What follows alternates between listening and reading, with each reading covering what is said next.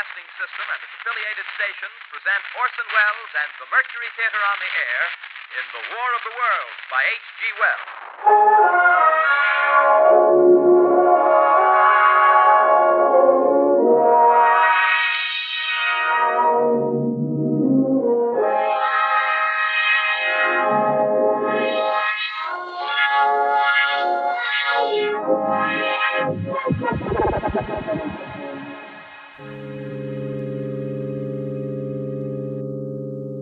No one would have believed in the last years of the 19th century that human affairs were being watched by intelligences which inhabited the timeless worlds of space. No one could have dreamed we were being scrutinized as someone with a microscope studies creatures that swarm and multiply in a drop of water. Few men even considered the possibility of life on other planets. And yet, across the gulf of space, minds immeasurably superior to ours regarded this earth with envious eyes, and slowly and surely they drew their plans against us.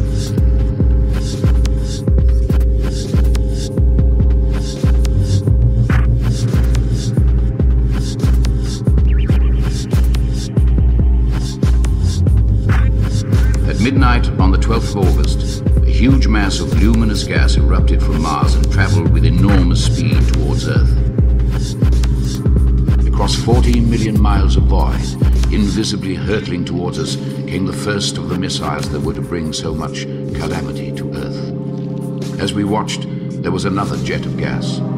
It was another missile starting on its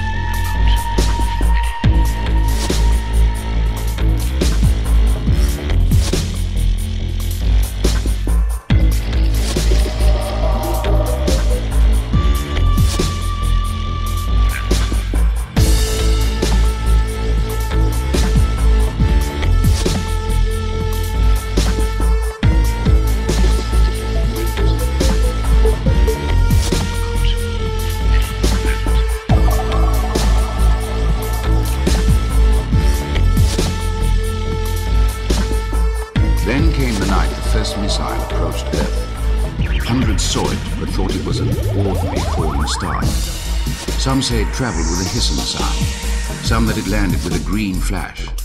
An enormous hole had been made by the impact, and sand and gravel had been flung violently in every direction, forming heaps visible a mile and a half away. The uncovered part of the projectile had the appearance of a huge cylinder with a diameter of about 30 yards, and there were faint sounds of movement from within.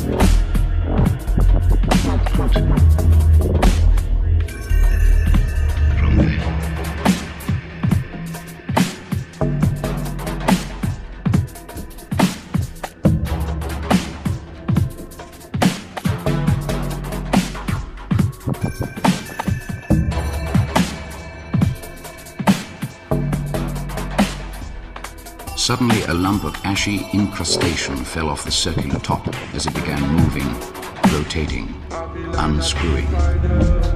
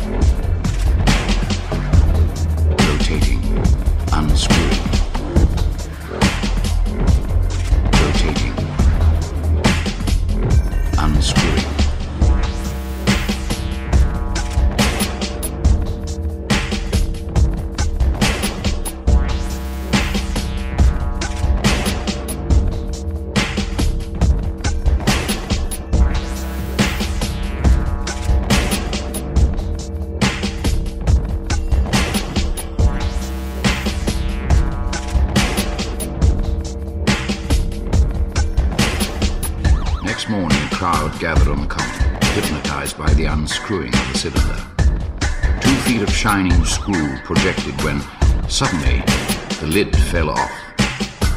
Two luminous, disc-like eyes appeared above the rim, glistening like wet leather. Its lipless mouth quivered and slapped, and snake-like tentacles writhed as the clumsy body heaved and pulsated.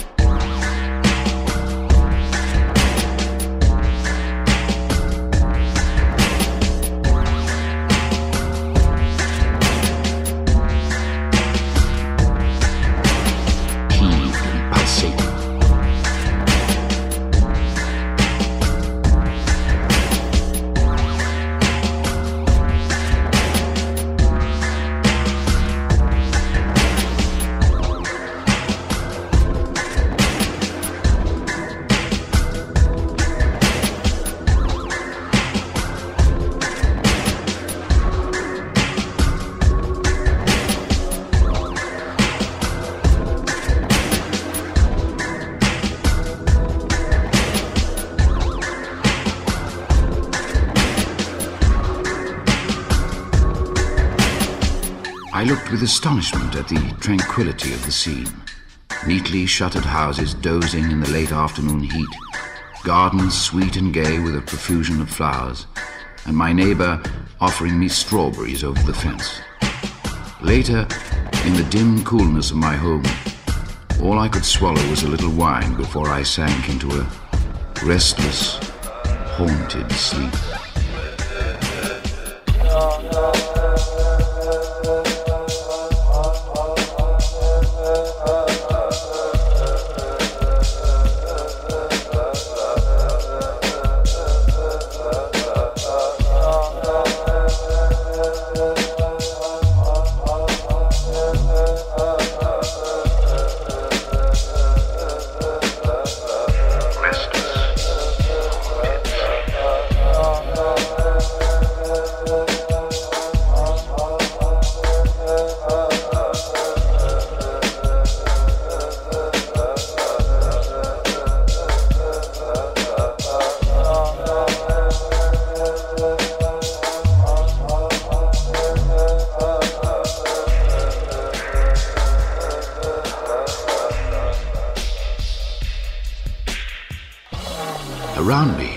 daily routine of life, working, eating, sleeping, was continuing serenely as it had for countless years. The Martians continued hammering and stirring, sleepless, indefatigable, at work upon the machines they were making. Now and again, a light, like the beam of a warship's searchlight, swept the common, and the heat ray was ready to follow.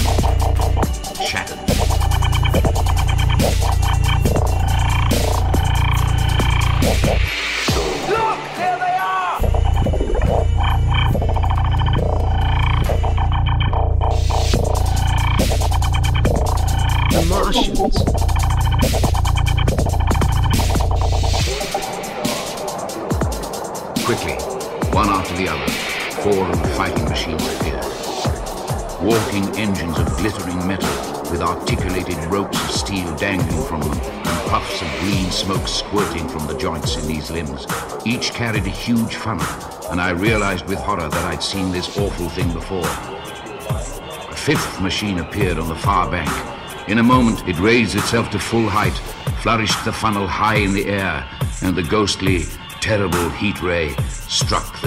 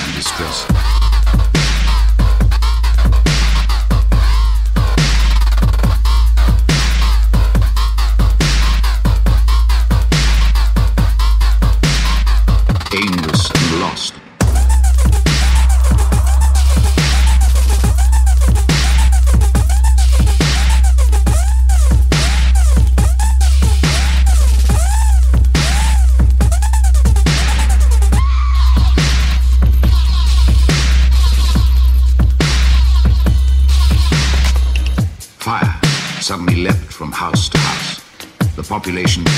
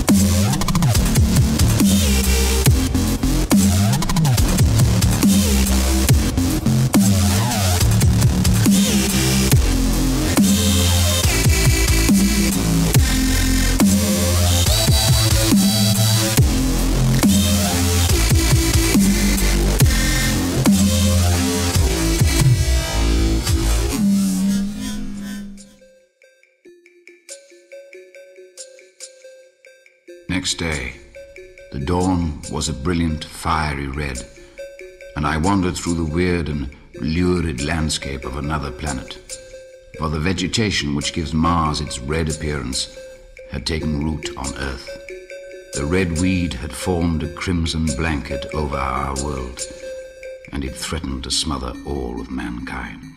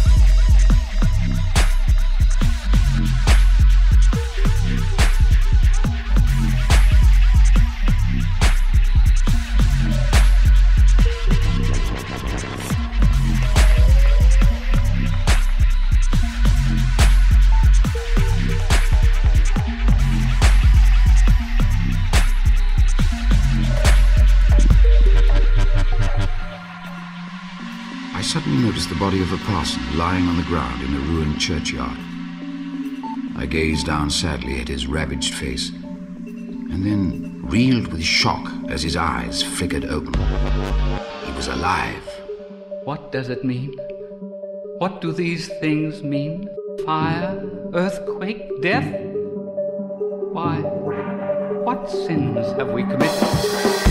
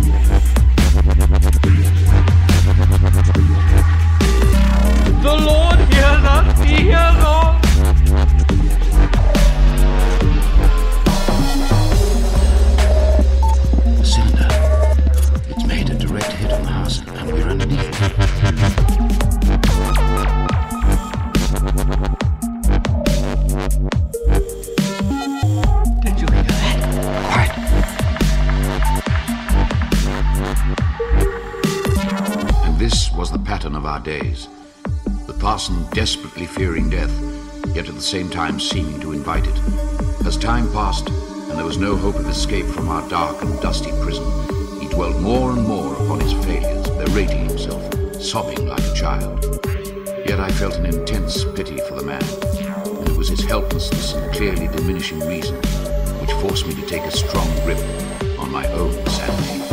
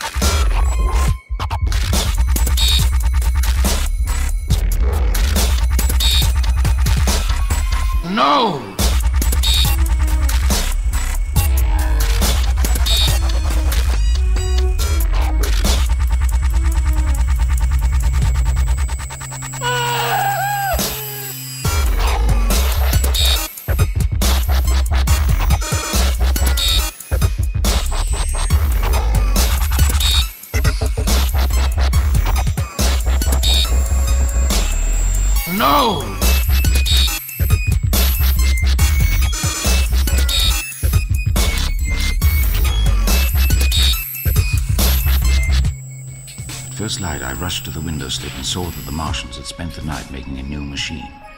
It was a squat, metallic spider with numerous jointed tentacles, but it too had a hood in which a Martian sat. I watched it pursuing some people across a field. It caught them nimbly and tossed them into a great metal basket.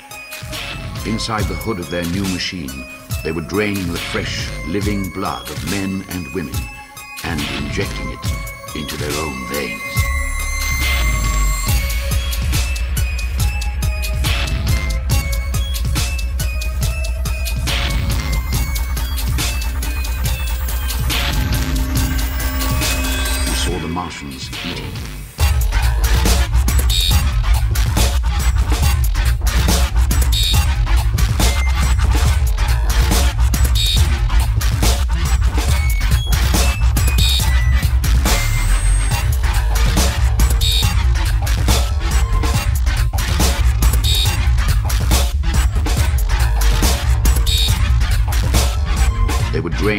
the men and women.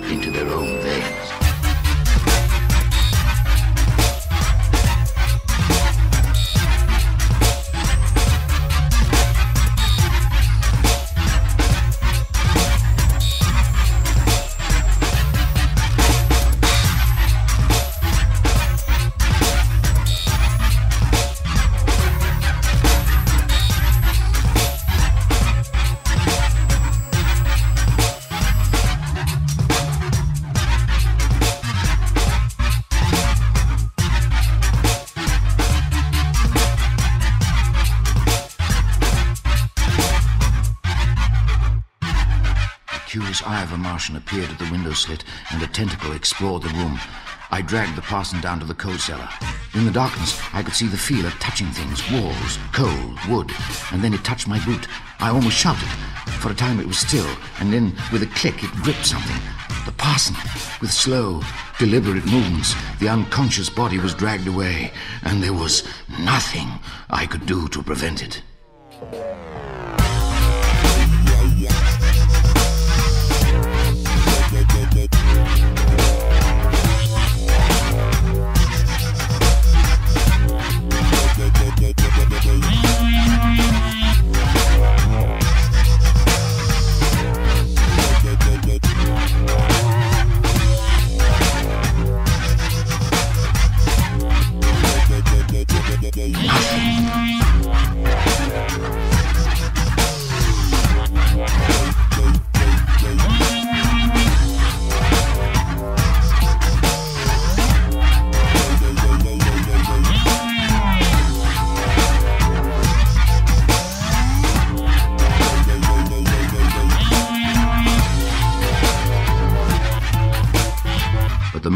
And all their machinery had gone.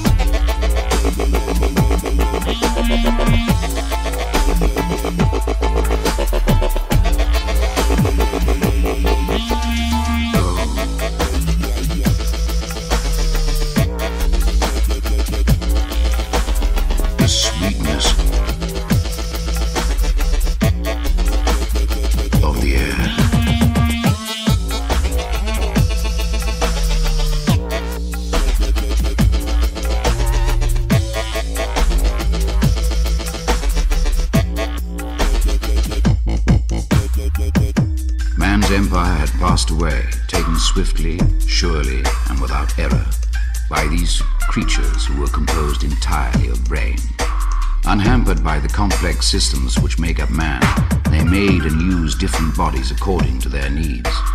In a sexual world, they were without sex, without the tumultuous emotions that arise between man and woman. They never tired, never slept,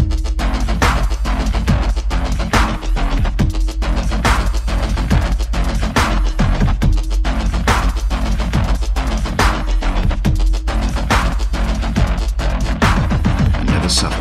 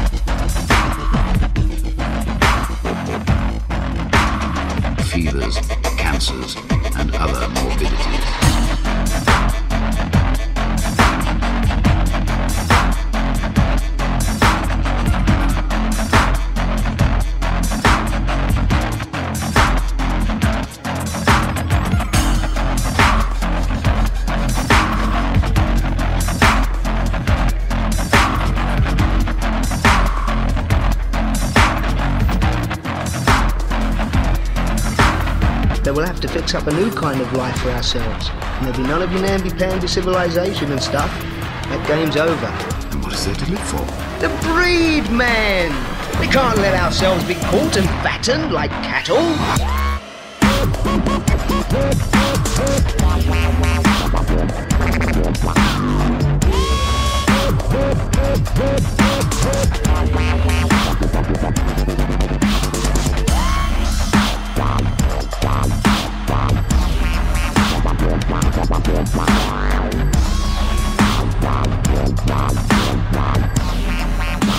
Wow, wow.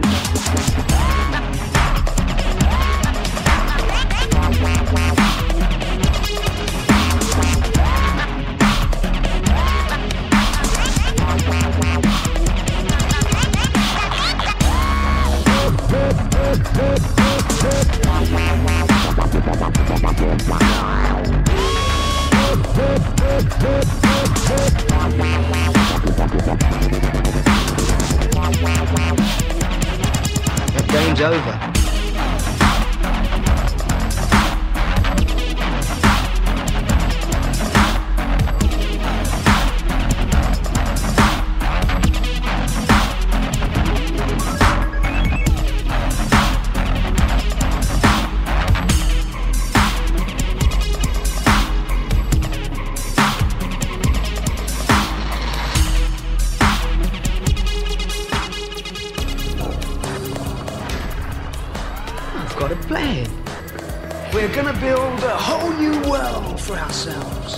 Where they'll never find us.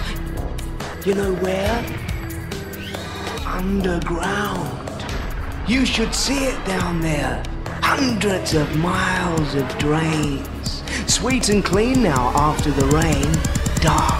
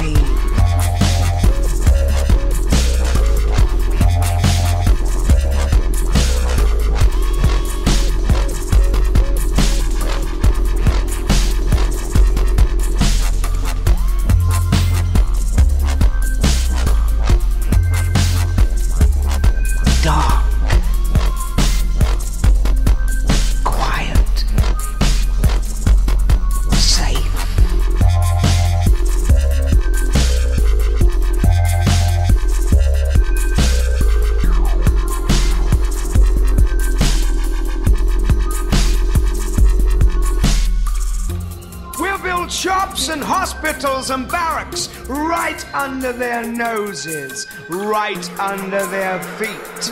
Everything we need banks, prisons, and schools. We'll send scouting parties to collect books and stuff, and men like you will teach the kids. Not poems and rubbish, science, so we can get everything working. We'll build villages and towns, and, and we'll play each other at cricket. Listen, maybe one day we'll capture a fighting machine, eh? Learn how to make them ourselves, and then wallop! Our turn to do some wiping out. Whoosh with our heat ray. Whoosh! And them running and dying, beaten at their own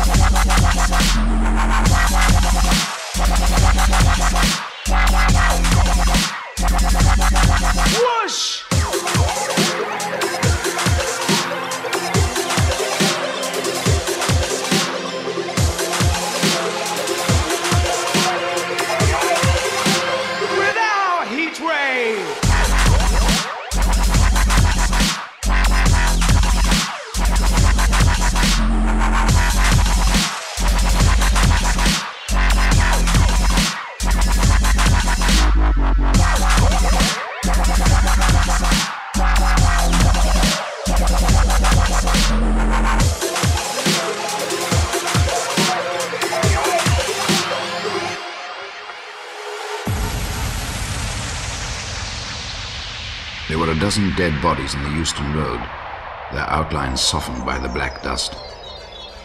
An odd, unnerving feeling of suspense, as though the destruction which had annihilated the countryside might at any moment strike these gracious houses in the very heart of London and leave all in smoking ruins. I stopped. I felt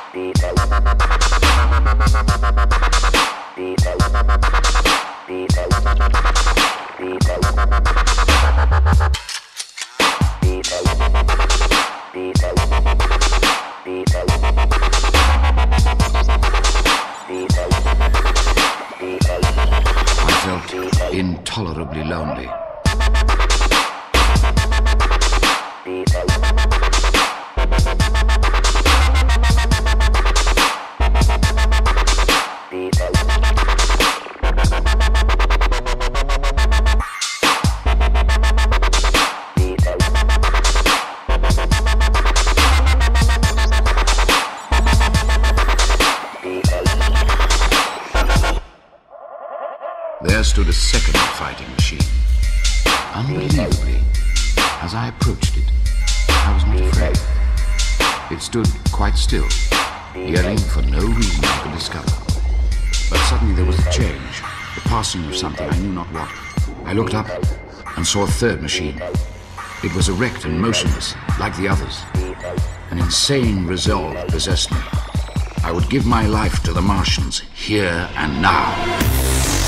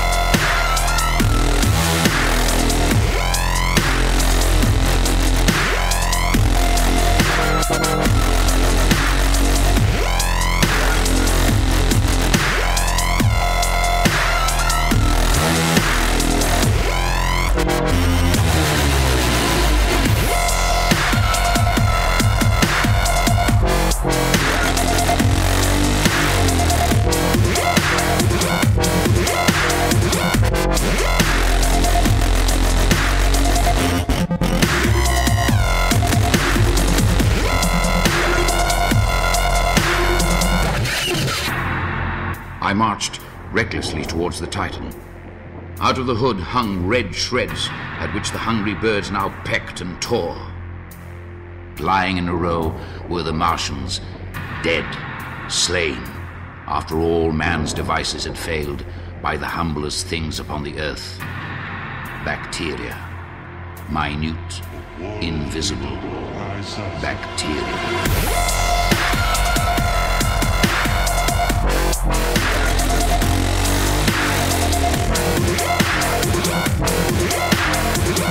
My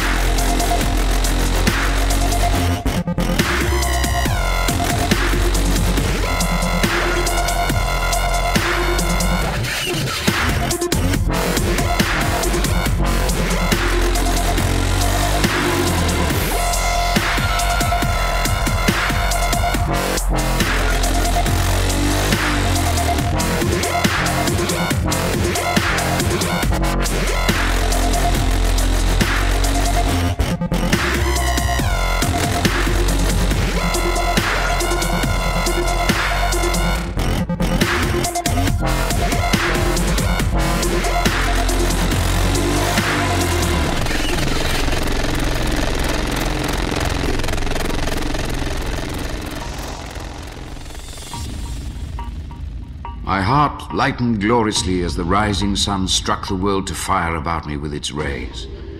The shadow had at last been rolled back, and I felt a wave of emotion close to tears.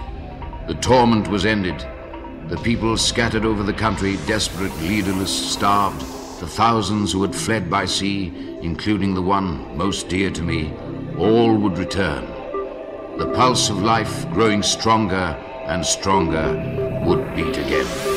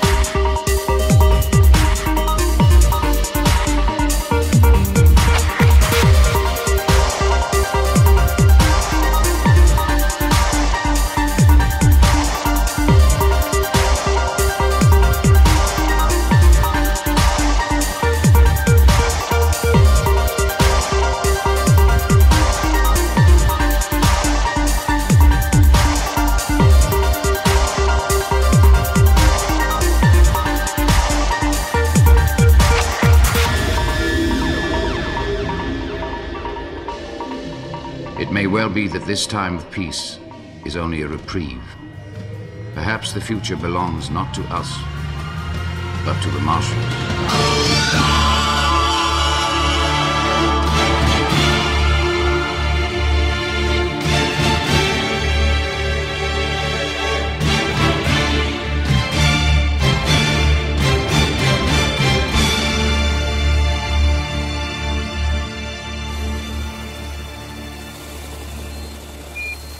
Looking good. It's going good. We're getting great pictures here at NASA controlled Pasadena. The landing craft touched down on Mars 28 kilometers from the aim point.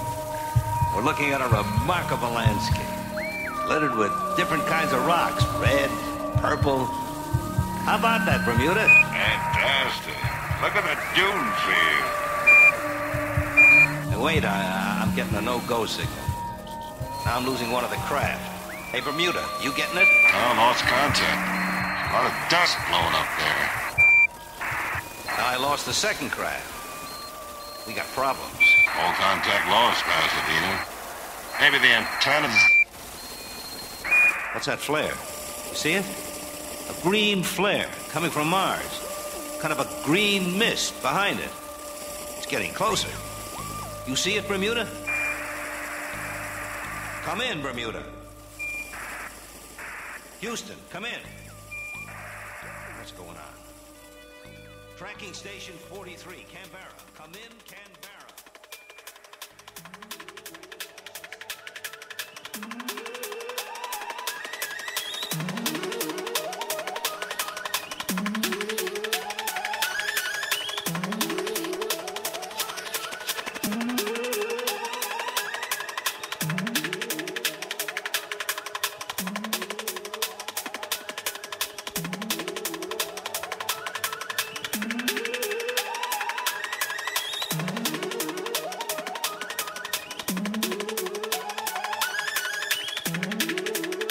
There were hard times ahead for the people of planet Ventura. Staring into the networks of space and time. Their eyes were open. But still, they were blind.